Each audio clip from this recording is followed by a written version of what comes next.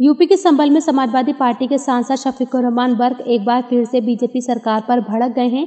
सपा सांसद शफीकुर रहमान वर्क ने बीजेपी पर भड़कते हुए बयान देकर कहा कि मुल्क के हालात बहुत खराब हैं, हालत बहुत नाजुक है। मुल्क में मोब लिचिंग, बलात्कार और जुर्म जायती हो रही है। इंतिहाद की ज़रूरत है, लेकिन बीजेपी सरकार में मॉब लिचिंग और जुल्म जायती के खिलाफ कोई कानून नहीं बनाया जा रहा। ये मुल्क सभी कौम के लोगों का है। सभी कौम के लोगों ने देश के लिए कुर्बानी दी है, जिसमें सबसे अधिक कुर्बानी मुसलमानों ने दी है। समाजवादी पार्टी के सांसद शफीकुर रहमान वर्क ने नए कृषि कानून के ऐलान को भी मानने से इनकार किया है। कहा, इसका फैसला पार्लियामेंट में होगा। संभल में समाजवादी पार्टी के सांसद शफीकुर रहमान वर्क ने अपना यह बयान समाजवादी पार्टी के संरक्षक मुलायम सिंह के जन्मदिन के मौके पर आयोजित कार्यक्रम के दौरान दिया है। सपा सांसद शफीकुर रहमान बर्ग ने बीजेपी पर भड़कते हुए बयान देकर कहा कि बीजेपी सरकार में मुल्क के हालात बहुत खराब हैं। हालत बहुत नाजुक है। दुश्मन भी हमारे पीछे पड़े हुए हैं। मुल्क में मॉब बलात्कार और जुल्म जाती हो रही है, लेकिन बीजेपी सरकार मॉब और जुल्म जाती के खिलाफ कोई कानून नहीं बना रही है। ये मुल्क सभी कौम के लोगों का है। हर कौम के लोगों ने देश की आज़ादी के लिए कुर्बानी दी है, जिसमें मुसलमानों की कुर्बानी सबसे अधिक है। ऐसा नहीं करेगा, न इस तरीके से वोट देगा, न लालच में वो कोई काम करेगा। किसान ने कुर्बानी दी है और जब तक उसका मतालबा पूरा नहीं हो जाएगा, उस वक्त नहीं होगा। और सारे किसान, सारे, हम तो कहते हैं, चाहे हिंदू, मुसलमान, कोई भी हो, किसी बिरादरी किसी कौम का हो, सरदार हो, पंजाबी हो, कैसा हो, कुछ भी हो, बहरहाल सबको मिलकर इस मौके पर अखिलेश यादव के हाथों को मज़बूत करना चाहिए। और मज़बूत करके यूपी को जीतना चाहिए। अल्लाह हम अल्लाह से भी दुआ करते हैं कि परवरदगार हमें बहरहाल अच्छे हाथों में ये गवर्नमेंट दे दे जिससे कि हिंदुस्तान तरक्की कर सके और गरीब आदमियों को किसानों का और नौजवानों का सबका भला हो सके। ऐसा हो सके। ऐसे में साक्षी महाराज जो सांसद है बीजेपी का उन, उनके बयान आया है। उन्होंने ये कहा है कि वहाँ किसानों के प्रदर्शन में पाकिस्तान के जिंदाबाद के नारे लगे खालिस्तान जिंदाबाद के नारे लगे। उस पर क्या कहना चाहिए अरे ये तो ये तो ये बातें तो सामने लोग यानी मैं ये कहूँगा कि प्रिपेयर्ड होती हैं। प्री प्लान होती हैं। सारे प्री प्लान है ये ये सारी कराई जाती हैं ताकि इस मकसद को भुलाने के लिए। इस वक्त आदमी भूलेगा नहीं, अपनी परेशानियों को भूल नहीं सकता।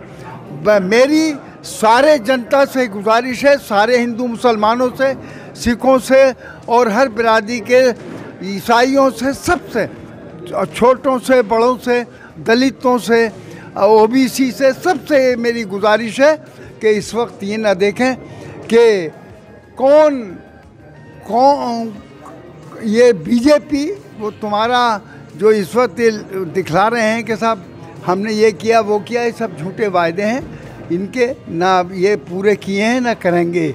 इस वक्त सरकार बदलने के लिए अच्छा वक्त है। सब लोग मिलकर अखिलेश के हाथों को मज़बूत करें और अपना कीमती वोट देकर हमें शुक्रिया का मौका दें। तो इन हिंदुस्तान का नक्शा बदलेगा, हिंदुस्तान के हालात बदलेंगे। हिंदुस्तान आगे बढ़ेगा।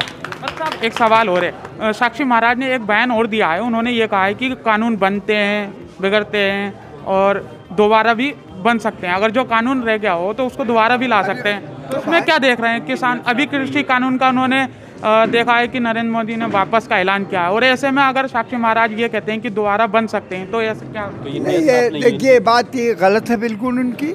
और इस तरीके से लोग धोखे में नहीं रह सकते। और ये कानून बदलते बनते रहते हैं, वो तो एक अलहदा बात है। लेकिन जो चीज़ हमारे सामने मौजूद है, उसके लिए इनकी आँख आज तक नहीं खुली, एक साल होने को आ गया। इनके दिल में कोई दर्द पैदा नहीं हुआ, कोई तड़प पैदा नहीं हुई कि हम इन किसान भाइयों के लिए भी कुछ करें, बल्कि ये इस बात के शायद मुंतज़र थे कि इलेक्शन आवे, यूपी का इलेक्शन और पाँच इलेक्शन और अभी चार और बाकी हैं वो भी हो रहे हैं तो होंगे। तो उस इसमें चाहते हैं कि इनको धोखा देकर अब ये इनसे वायदा कर झूठा वायदा करने के बाद में और इनको आ, मतलब ये कि अपना वोट ले लें किसान या ऐसे में वोट नहीं देगा। और दोबारा कानून लाएँगे। ये जब तक होने के बाद में और इनको अ, मतलब ये कि अपना वोट ले ले किसान ये ऐसे में वोट नहीं देगा। और दोबारा कानून लाएँगे? ये जब तक कानून नहीं बनेगा जब्ते में खत्म नहीं और और एमएसपी जब तक के उसके लिए कोई कानून नहीं बनेगा उस वक्त किसान कह चुके हम नहीं मानेंगे हम इसको तस्लीम नहीं करने की। समाजवादी का आने वाले जो चुनाव है उसमें सबसे अहम मुद्दा क्या रहेगा? इस क्योंकि किसानों का मुद्दा जो है वो मोदी जी ने दूर कर दिया। उन्होंने कहा है कि हम इस कानून को वापस ले लेंगे। अब क्या मुद्दा रहेगा? नहीं मुद्दा क्या? मुद्दा तो असल अभी है। अरे मुद्दा अभी अभी वापस कहाँ ले लिया? जुबानी कहने से नहीं होता। तो कल को फिर फिर लागू कर देंगे। तो एमएसपी हाँ? का मसला है। और M S M S P का मसला है। असल तो मसला वो है। तो वो जब तक इस पर कोई कानून नहीं बनेगा वो उसके लिए राज़ी नहीं होंगे।